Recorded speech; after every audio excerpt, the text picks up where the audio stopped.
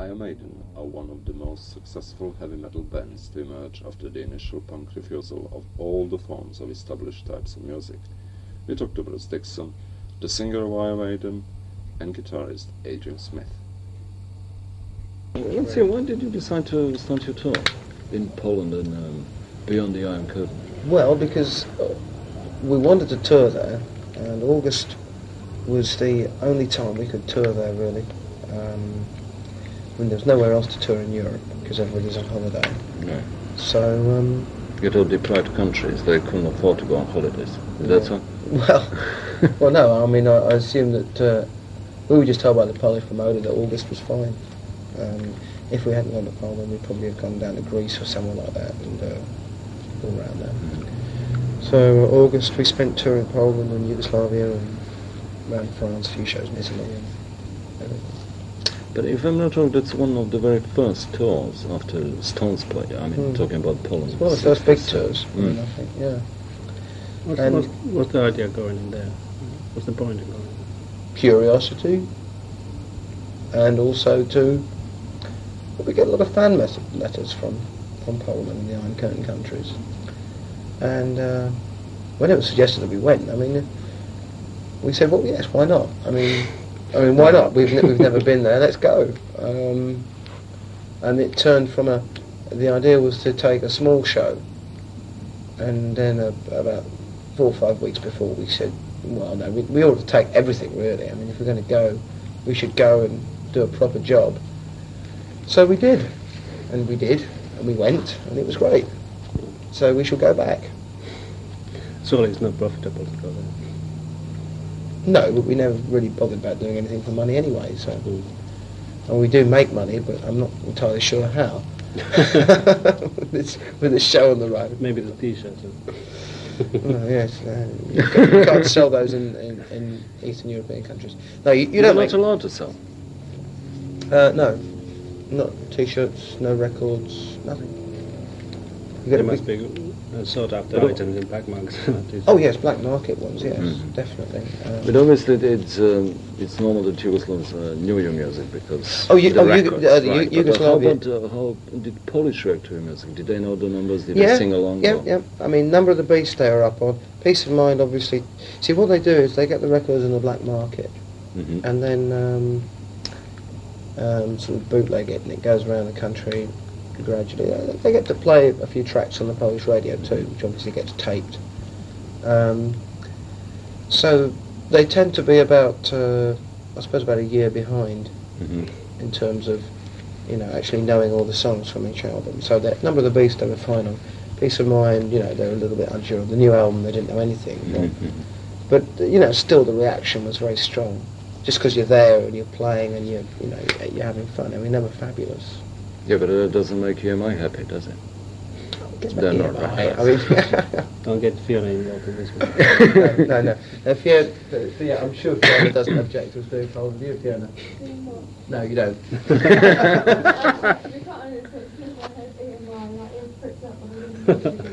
No, I'm not. I'm not slandering. I'm not slandering the record company. Mm. Ask me another question. I'll slander them for cash. Oh, I see. Is there an EMI a- Poland yeah. or something like For, that? for a fiver, I'll give you slander. For a tenner, legal legal writs. Wow. Would you accept uh, American Express? yes. Would you like to see my tits? Yes. How, how big the crowd was there? And, um, Um, in Poland, anywhere between did five shows, anywhere between six and ten thousand, depending on the size of the venue. And Hungary was thirty-six thousand one show. Yeah, that's, that's, that's quite nice. That was huge. It was fabulous. Outdoors. Did you think of doing a live album? Yes, all four nights at Hammersmith. Oh no, I thought this is it's in uh, European countries or something.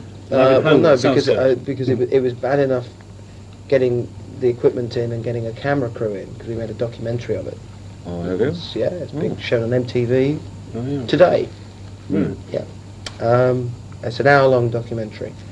Um, but uh, yes, uh, taking a mobile in there as well would have been uh, incredible problems. Just with you know different shows every night, and uh, also it was the first five shows of the world tour. We hadn't played for nine months. You don't Mhm. record the first five shows. I'm going to practice a few times. Yeah, you're going to have a Yeah, few well, obviously you were um, well rehearsed before you embarked upon the tour of Eastern Europe. but on, but on the other hand, it's uh, you are the more you play, the better you become. So, shall we say that uh, English people or whoever in a couple of months are going to see you are going to get a much better show. It's going to be tighter. Uh, to an extent, I mean, we never, we never really do. Uh, I don't think we ever really do bad shows. We do shows that Oh, that was no implication no, whatsoever. no, but uh, no, I agree. Wherever you start a tour, you know, it's always going to be better two months in.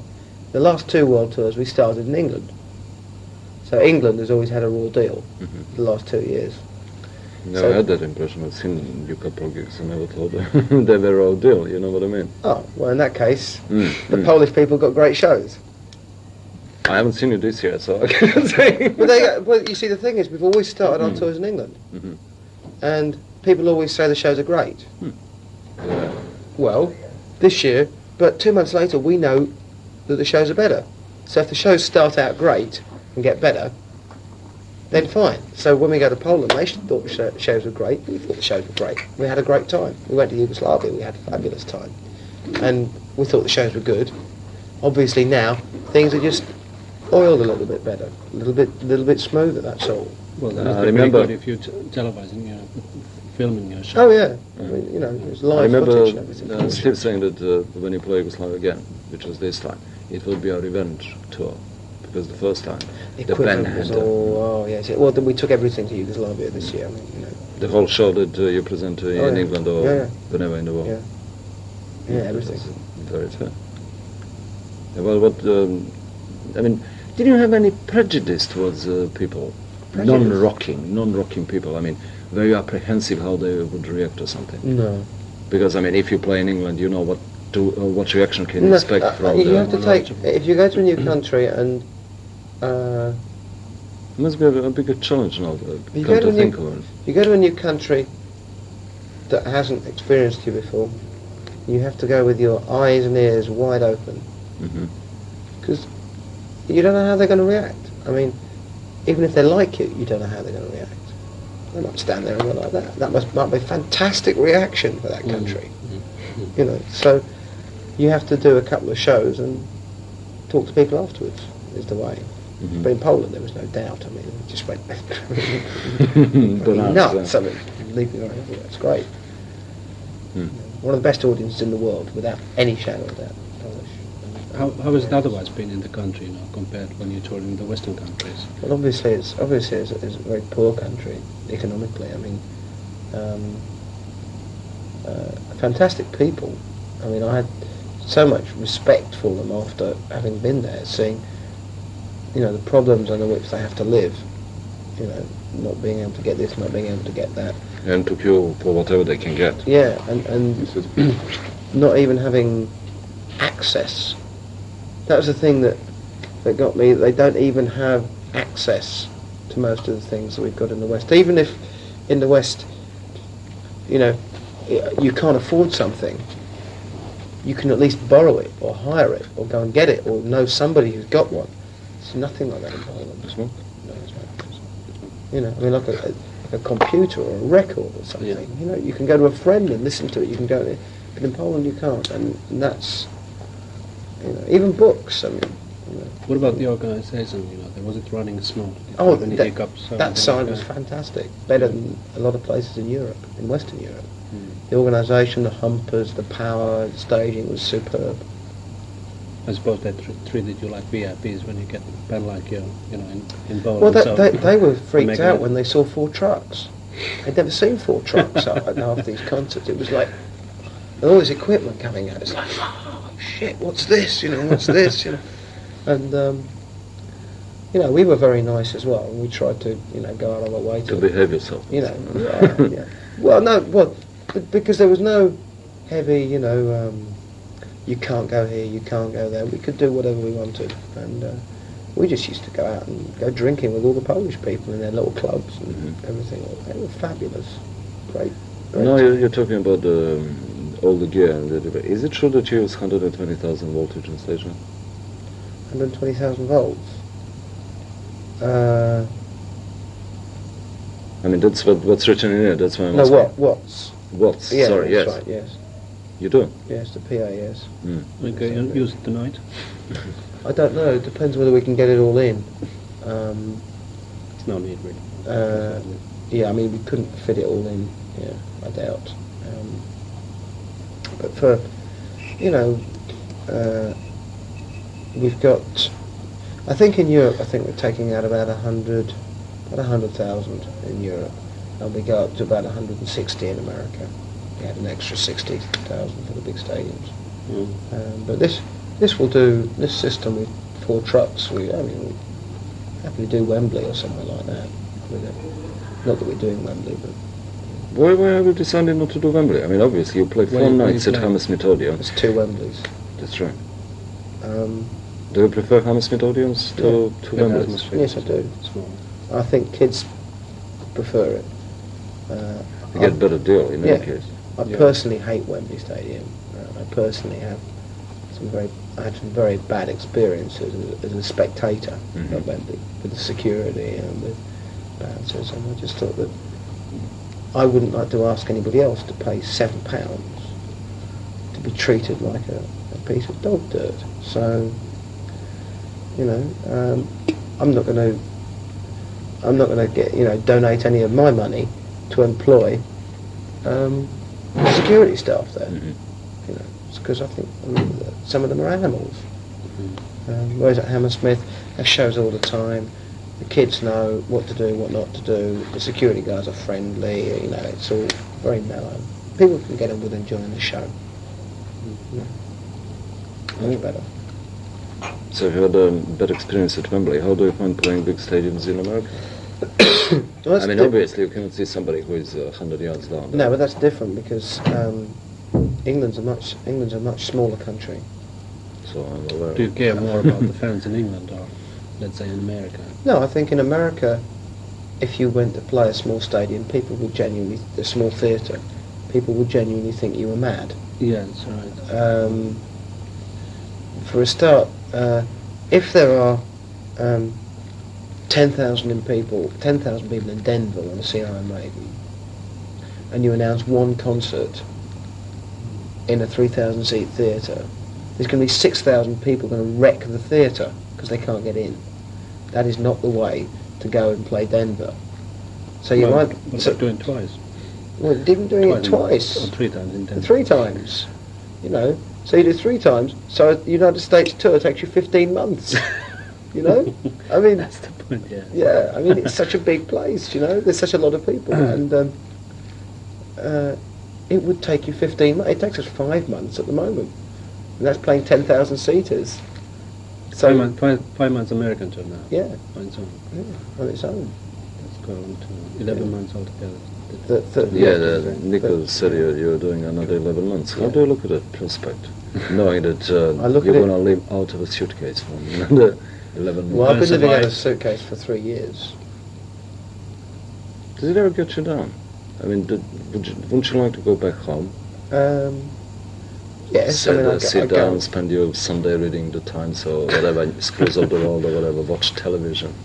Yes, I mean, I, um, I do, I do, you know, I'm very fond of home, but I accept that, you know, for the moment, I'm doing this, and tomorrow I'm doing this, the day after I'm doing something else.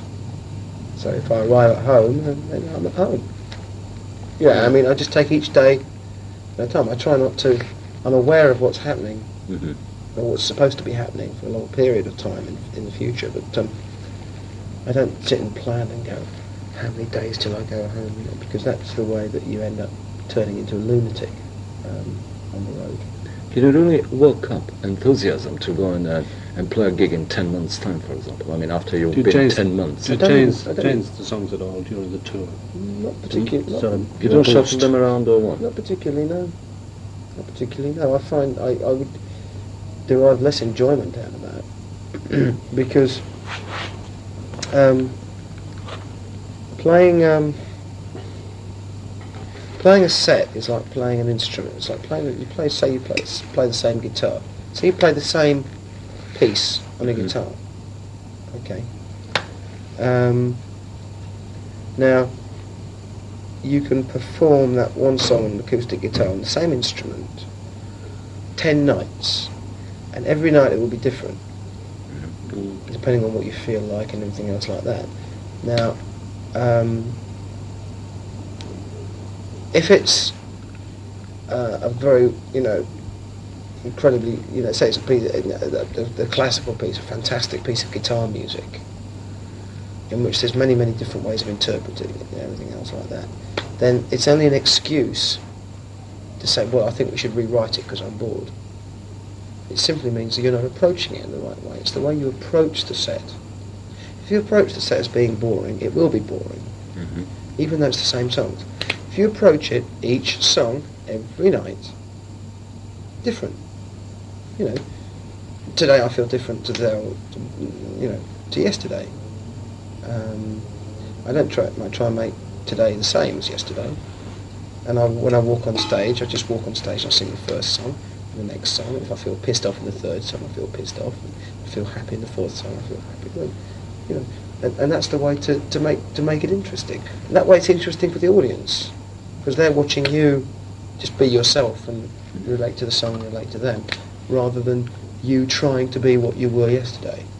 If I do a really good show a week ago, and I hold that show in my mind and I try to repeat it, I will always get mad because I can never do it. But just when I'm feeling really shitty, I start to feel really happy in the third number and I think, this is a really good show, what's happening? And you're just on a roll and it just happens. Is the Like, you know. show changing much uh, uh, from the previous shows? I mean, do, do you still have Eddie? I read somewhere that they're dropping it. Dropping in where? Eddie, I mean, uh, from the whole thing. No. First of all, it wasn't on the record cover. Yeah, no, we're we're not dropping him. We're playing games with people. I see. well, it's here tonight. Yeah. First time it's not on the, on the album cover anyway. Hmm? Or is it there? Well, I mean, uh, you know. Maybe keeps not. changing, doesn't it? He keeps changing. Changes every album cover. yeah, he does. Well, the last three or four, you know, he's been He's definitely on, the he's definitely on the back. See ya. Are you uh, going up? Have a nice time. Sure, yeah. I'll see you tomorrow. Okay. Is is Fiona around? Uh, Yeah, try for somewhere. yeah. She might be. Our kids are in there. She might be in there as If I don't see her, because I've got to catch a train in about ten minutes. All right. So you better hurry up. Because my magazine in, in Finland, they um, they were very apprehensive about uh, you know the Eddie image. Mhm. That they wouldn't really want to touch. But now they're more sort of. Oh, I see. Oh. Well, maybe we did the right thing for once, though. I don't know. For once. No. Um, I think we can play games with it, you see. Mm. Five years' time, you may come up with a really horrendous, horrible album cover. We'll be selling six million albums worldwide, and people will go like that. Cause everybody to have heart attacks. now, now you have somebody in your own own company to compete with. You know, Wasp. Oh, W.A.S.P., I was Trying to do but- but outrageous things.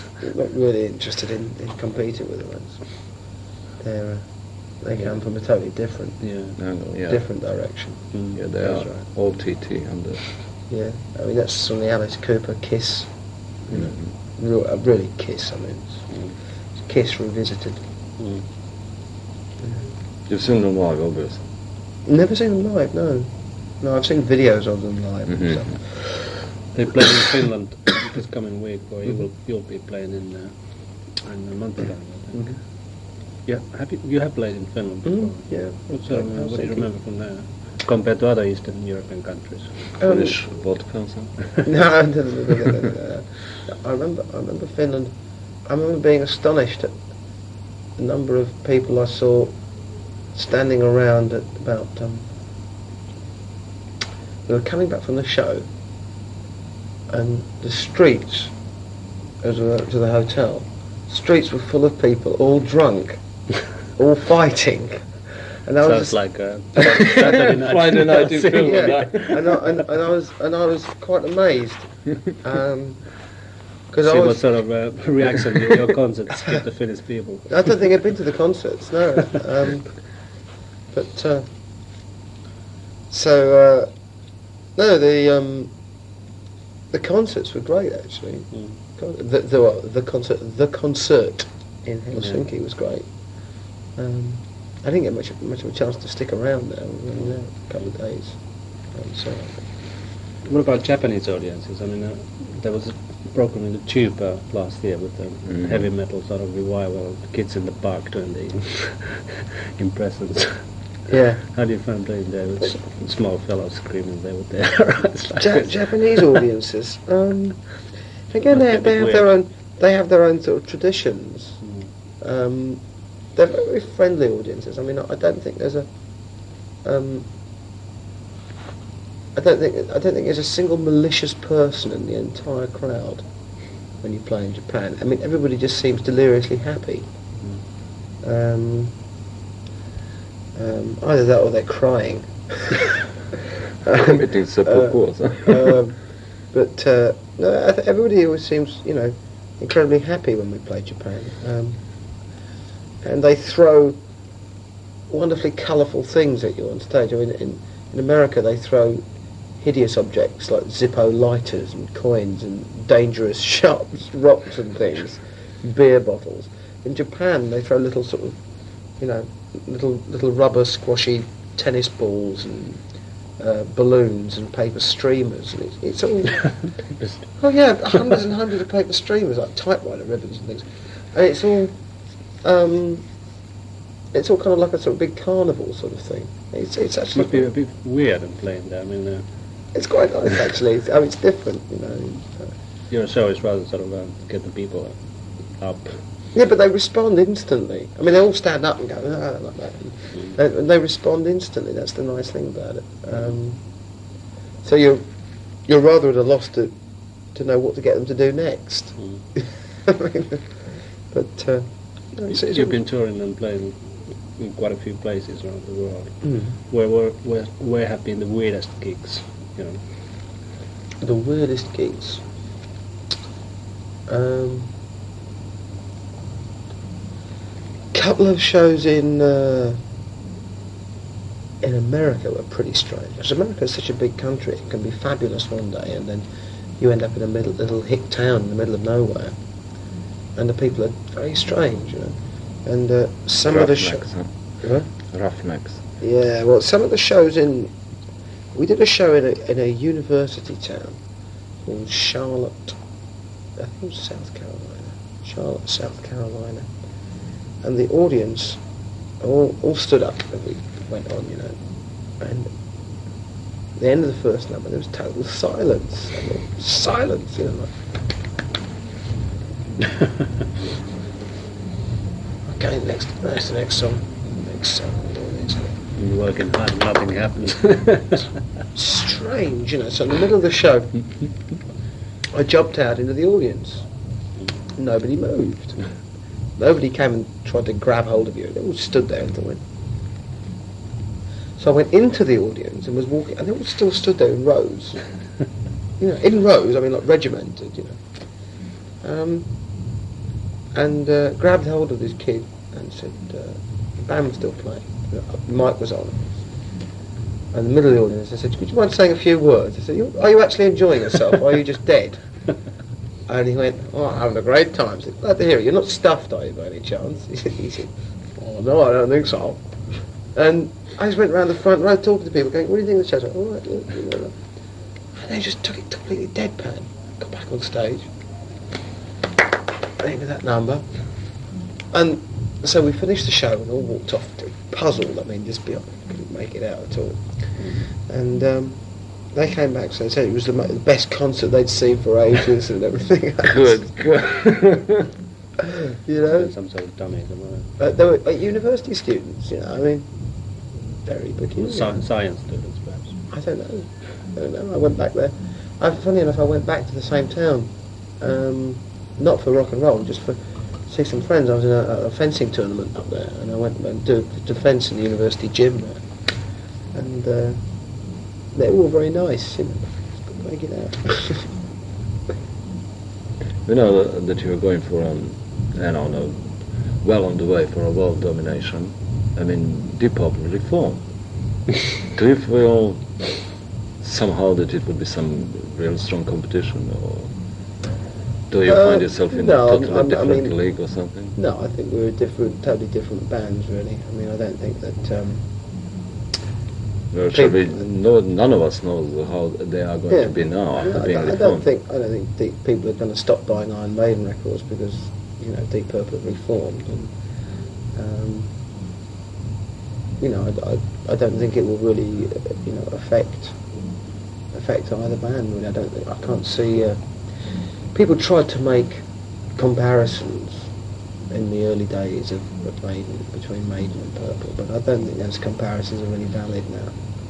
And, eh? I don't think I so. mean, how about uh, the last number on the second side? Well, Rime Ancient Mariner? hmm I don't think it's anything like Deep Purple. No, no, no, maybe not musically, but uh, uh, the new wave of uh, British heavy metal, as it used to be known five years ago, and you were part of, is turning to the old wave. I mean, a 13 minutes, 13 45 minutes. second Yeah. Number. Isn't it very old-fashioned? No, there's nothing old-fashioned about. Um, I'm not using it in derogatory term, you know what I mean? I mean, I'm talking about the concept going of a song, you know, of that length. it's Iron Maiden's first album had Phantom of the Opera on it. It wasn't that long, Eight minutes. but it was rockier, wasn't it? As far as I remember. no. No. It's n- No more rocky than uh, Rime of the Ancient Mariner. In terms of speed of playing and tempo, this is one of the most up-tempo albums we've ever done. Yeah. No, no, but the concept, I mean, you know, long numbers like that, I, I still Um, think it's, uh, you know. It know. works. It works great. It's very exciting Mm, mm, live. You see, a lot of the old bands used to take a five-minute number And extend improvise, it to yeah. 20 minutes. Don't tell me I'm old enough. So, so I mean, this is where all the bullshit and the bore is. Oh God, a guitar solo. Oh Christ, another drum solo. You know? Mm. Whereas we don't do that. I mean, we we play, you know, the pieces and try and inject the life into the Mhm. song as it's as it's written. Um, That's the thing I always wondered about, uh, again, new wave of uh, British heavy metal, because there, there were not all those trademarks of old heavy metal, I mean, rather hard rock. I mean, there were not uh, five minute, I don't know, well, well, Ritchie Blackmore going on, or ten minute or whatever. You, you always worked as a unit, mm. more than they did. It was more, you know, a, a showcase for them in those days than it is for you. It is a showcase for you as a unit, as a band, but not for individual people. And I think with a lot of those groups, their reputations were based on the times when they were they were working together as a unit. Um, all the great moments in Deep Purple's history were when the band was working as a unit. Uh, Deep Purple in rock, Yeah, yeah. you know, was was the band's Yeah. finest that that incarnation's finest album. I think Yeah. of the whole uh, Deep Purple incarnation, the finest album. Well, possibly, yeah, but I mean, Burn was also a fire, Mm. and that was the whole band. Now, at any point in time, the band diverges. Like on Fireball, you know, you've got a couple of members of the band trying to go, "This is what we really want," and all the rest of it. Well, of course, the whole band uh, it's one-sided, and it's not as good. Um, and Machine Head, all five of them pull back together, great album, and the live album is again is is everybody uh, everybody working as a unit, but given you know given working as a unit, uh, off you go, Ritchie. Uh, right, come back, you know, and that's why it's so great because it's on the edge. Yeah. It's on the edge. It's not. But the California Deep Purple, the California Jam, that video, is is just extravagant. Mm. I mean, you know, a 45 minute version of Space Trucking. I mean, it's like, you know. Um, but that was that was Deep Purple. You know, they could be brilliant one night and like another night, but that was that was the band. What's your reaction of them getting together now and playing? To try Um, to get together and to make. If it's good, it'll be great. If it's not, it'll be terrible. But you doubt that it's going to be. I've got no opinion. I mean, until I hear it, I won't prejudge it. I should probably go out and buy it and listen to it. Um, that's the only way. I mean, um, I'm not. Uh, uh, what I hope is that it's good because I'd hate to see my memories uh, of a great band Shattered. tarnished. Well, I, I'm sure they Yeah, worry about really. that, you know. how, how is your own own music uh, progressing? All right. I mean, uh, what directions do is it going? If I can uh, butt in as well, um, this is the f- actually second album, or actually the first album you've done with the same lineup. Yeah. I mean, was it easier to do it now Yeah. because the people were the same and you didn't have to bring anybody in and so on? I mean, uh, did you communicate easier? Yes, I mean this album was written and put together in about um, a week. We all sat around thinking ideas, and but none of us actually. We didn't. The five of us sit down in a rehearsal room and, and, and actually learn the songs. That only took about a week to learn everything and put it all together, and so that was a big advantage. That's why there's so much energy on this album because we haven't had to go through the process of right, okay, we start, we do this, and then we've got to do this. I mean, even this is even before we learn the songs. Well, we don't have to go through that, that terrible process. You know, of having to teach somebody all the old material and then Mhm. teach them the new material and then, you know. So um, it was very instant. And Nicko and Steve were working together well anyway. So it was not, not really that much of a problem. Musically, um, I've got no idea. Well, I have got an idea where we'll go on the next album actually. Uh, but it's uh, the next album will be different again. Very, the, the next album's going to be a live album. The album in two years' time, it's going to be different again. To Power's Light. Um, I'm, I'm, I'm, already looking forward to it with great relish because we've got some great ideas. Why, why are you laughing? I've just we've got some great ideas. I'm really looking forward to it. You know. um, but, uh, I, I, I mean, I always enjoy seeing how the ideas turn out because I have idea, ideas now. which Yeah. in Two years' time will turn out totally differently. So I always enjoy seeing what happens to them. It's always interesting. You got credited for quite a few numbers in here. I mean, the, the hit single Communist Midnight, it's yours and the agents. Mm-hmm. I mean, um, it, it is obviously a democratic band, Mm-hmm. although Steve Harris is the oldest member. Mm. The, the, is there any any fight? Well, what is going to be the next single?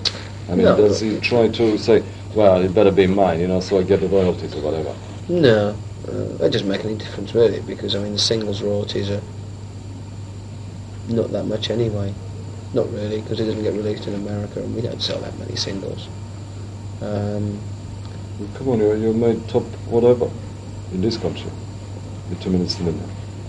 well, yeah, I mean, well, I suppose it is. But I mean, we don't Yeah, really. We don't, to get a albums, top we don't- or something. yeah, I mean, we don't. We don't really uh, think about money in that sense at all. I mean, The money pours in, so why would you think? Right? well, when the money wasn't pouring in, nobody thought about it. There was nothing to think about. Exactly. and now that it pours in. So why do we think about it now? But I don't know. I mean, people being um, essentially greedy. So if you have a Probably use fiver, money, what you want to have a fifty. If you have a fifty, you want to have fifty thousand. Don't you? Well, no, because as long as everybody gets uh, roughly the same sort of, roughly the same. Oh, obviously, there's a huge imbalance, if there's one guy with no money and there's another guy who's very rich, Mm. then that's the way to create imbalances. But everybody in the band gets, you know, roughly the same sort of money. You know, Obviously, in terms of in terms of publishing per album, Steve gets twice as much as me. Mm. So you got twice as much as me. It's no problem. You don't feel um, unjust about it. No. I mean, uh, why I'm asking I'm, that? I'm, I'm, I'm, I'm very happy with, with my contribution to the album. Um, if I tried to force myself to write any more than was on there, I'd be dredging up, you know. Sure, I could write another two or three songs, and uh, they'd probably be fairly mediocre. They'd be okay. They'd be okay. Probably a lot of bands would be happy with them, but uh, it wouldn't really be that instant or something. Um, and uh, you know, I it doesn't it doesn't really you know bother me that uh, you know somebody writes you know a third of the album. Actually, it's fairly evenly evenly distributed. It's about about sort of 50, 50, 60, 40, whichever way around. I don't feel left out on the album, put it that way. Mhm. And the the financial aspect of it um, doesn't you know, doesn't worry me. I'm not I'm not that greedy. You know, everybody's very happy. Why why should you know why should you let money interfere with what's essentially a creative endeavour? I think it did split uh, quite a few big bands. Sorry. It did quite um, money did split quite a few bands. Yes, I think uh, money and um associated Evils. evils. Yes, money associated evils, egos, drugs, and everything else. It all, all enters into it. And um, I'd like to think we were too sensible for anything else like that to happen. I think I think we probably are, I hope we are by now. Mm. After having done this amount of touring for this amount of time, if we haven't turned into drug-crazed lunatics by now, I don't think we ever will. I mean, I've noticed none of one uh, had um, any of the drugs. I mean, you, you keep No, the photographers. No, yeah, I've noticed the photographers, yeah. No, I don't take them. I don't indulge at all. You don't drink? Oh no, I, I, I drink and I take and I drink, and uh, I drink a lot of tea as well. hmm Um, It's, so it's quite interesting that your band, you know, you have such, uh, you know, hard and aggressive images musically and otherwise, but as persons you are. Well, you are, you see. Well, we can all be quite hard, aggressive people. You don't have to take drugs to be Yeah. aggressive in terms of saying what you believe or saying what you want. Um, I mean, it's usually as heavy metal as boozing and Well, while that- living that- is well, associated. that's with it. I mean- And especially if you uh, keep on touring like you, I mean, Yeah. people tend to turn onto some other substances as a relief or as a, you know, Wrecking enthusiasm booster or something. oh yes, but that's the thing. You say if you do that, then you, you blow the you blow the confidence. Yeah. I can't perform. See, I can't perform If you're not fully conscious if of I'm not absolutely 100%. Uh, if physically I'm only 80% on any given day, then mentally I have to try and be as alert as I can, which means no drugs, no alcohol, nothing before a show. A couple of cups of coffee, Hmm. that's about it. And an aspirin if I've got a headache. Um, Well, what's the secret then of the band being sort of relaxed? I mean, uh, during 11 months and not. How do you getting relax, in other words? how do we relax? Um, Well, not not to uh, get tensed up. Well, it, it depends where we are. Um, we all know each other's habits fairly well by now. It's just like it's a it's a way of life which we which we live, and uh, everybody gets you know you have your little tensed up things now and again, whether it's because you know either his feet smell or you know you, you know he's eat your cornflakes. You know, There's a bad breath or something, Yeah, yeah. but, but it, it's all on that really really petty kind of level. You know, he ate your Mhm. cornflakes or I wanted to stop for a McDonald's. Oh, you know, or, you know, or, or something like that. Um, and most of those things don't really occur now. Um, we all have our own hobbies and our own relaxation sort of pursuits, which most of us hardly ever get any time to do. um, but we all know each other fairly well enough by now to to have to, to avoid doing that. The main thing is if every day you the most important thing in the day is the concert. Right? As long as your life revolves around that, then uh, you've got something to measure everything else by. hmm You measure, now I have a day off, tomorrow I have one concert, then another day off. That means I can go out and I can enjoy myself and get fucked out of my brain and drunk tonight. And it won't affect the concert tomorrow too much because I can stay in bed all day and get over my hangover and I can still do a good show tomorrow night. So, so you go out and you enjoy yourself. hmm The next day you go, I better call it and stay in and watch TV and have a quiet night because I've got four shows ahead of me. And the, na- the last night of the fourth show, You've got a day off the next day. You go crazy, you go crazy. You know? So, there's, you know, it's just being sensible. You can't take something out and not expect to have to give something back in return. You have to, you know, it's called growing up, being adult. In the adult orientated world, yeah. Would you regard the London dates you know, that you're doing uh, next week as not important? You know, critical audience. like that. no, we just go and enjoy them. Because if you go out There's no different attitude. To, Not really. There's always a little bit of a little bit more pressure, but you have to try and uh, you have to try and ignore it. You know, surprise yourself. Turn up at the show five minutes before you go on stage or something. Just ignore all the people coming up, you know, shaking your hand, go telling you how wonderful you are. Just ignore all that. Just just go down the pub or something like that, or go around the corner, or go and have fish and chips or. Just go for a walk. Just ignore it all. Um, do whatever. And some people thrive on it. Makes some people feel better. You know, people come in shaking their hand, telling them they're wonderful and they're great before a show. It makes them feel better. So that makes them feel better than great.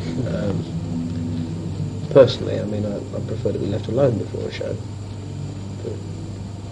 Then you better go then. No, no, no, no. no just for ten. you know, four hours. No, just for like uh, 10, 15 minutes. Just, just immediately before I go on stage. I like to just go somewhere quiet and just sit down and just sit down. Just complete peace and quiet. Just meditate. Well, sort of. I mean, I, I, I sort of stretch a little bit before I go in because I find it helps me relax. And um, when you're doing some of these ridiculous stretching things and everything, you know, stretching hamstrings and back and things like that. And while you're doing it, it's um, it's a kind of meditation because you all you're, all you're thinking about is because you're putting yourself through all this pain hmm. imme- for a quarter of an hour before a show, hmm. and it, it builds up your adrenaline level because hmm. your response to the pain is to produce adrenaline to combat the pain, and you're thinking, why am I doing this? Because I'm going on stage in 15 minutes. And I tried. I've got so sort of hooked on it now. I tried not doing it for uh, for a show. And I felt terrible. I felt like I was at the sound check. I felt like I shouldn't be there. Um, so I don't know how I ever used to go go on stage without doing it before.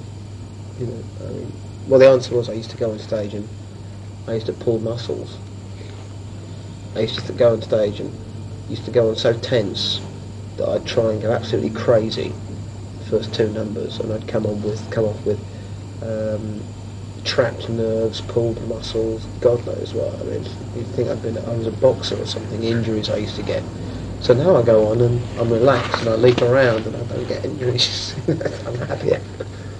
Let's hope you have a nice show tonight. Yeah. Do you, do you look upon the people who look uh, on you at the stage as a demigod? Well, I don't know about that. Well, I want to ask you, I mean, uh, as an um independent or rather non-aligned observer at the gigs, I mean, heavy metal gigs is always something of a, reli- a religious experience.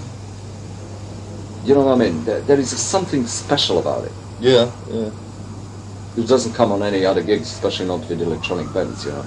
Yeah. It's always yeah, there's always a lot of excitement and atmosphere.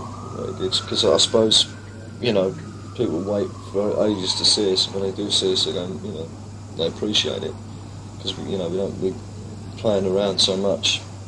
We don't get time to play um, very often in you know one place. We're playing maybe once a year. So I suppose when we get there, people are happy to see us. You know, happy to see them. But do you appreciate uh, this way that, that you tour the world, or did you prefer the, the old way when you were less known and less popular, or there was a less demand for you to play Australia and Japan and go for sake in America? Yes, it's it's. Um, I think it makes it. You appreciate success more when you've, you know, when you're not so much in demand and you, you can't get a lot of work. And, you know, not. I think when you do get success, you appreciate it more. You know.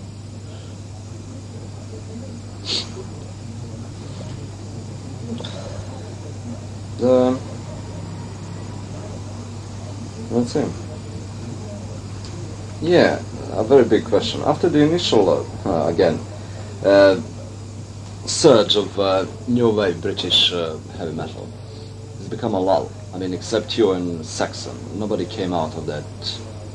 And the, at the moment, there is no new bands coming up. Mm. What do you think? It's so. I mean, I think there's still, I think there's still plenty of bands around but uh, maybe record companies aren't signing them up as fast as they were in sort of 1980.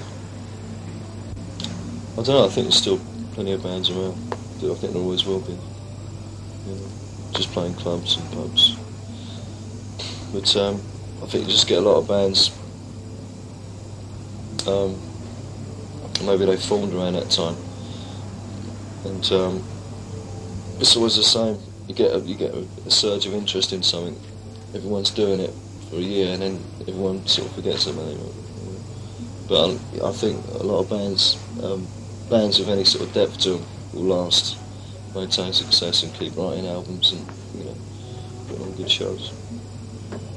But I think there's I think there's still a lot of you know probably heavy bands around. But maybe they just aren't aren't getting the breaks that we had in 1980. Is there any ambition left for Maiden? Ambition. Well, we played most of the world, but next year we're going to go to South America. Mhm. That's just like that. so I suppose that's that's a big place we haven't been to yet. Plus, this is um, this is going to be our first headlining tour of the states, so it'll be interesting to see how that goes. We've still got a lot to do. Well, what kind of places are going to play? How Um, big are they? What size? Um, pretty big. I mean, like sports arenas, things like that. We get ten or fifteen thousand people. We're actually touring with um, Saxon and Fastway in the States. So it'll be interesting to see how it goes because it's only our third tour. Mhm. Although we have spent a lot of time over there in the past two years, but it's our first actual headliner, which is quite unusual. Most bands have to do like five or six tours before they can get to that.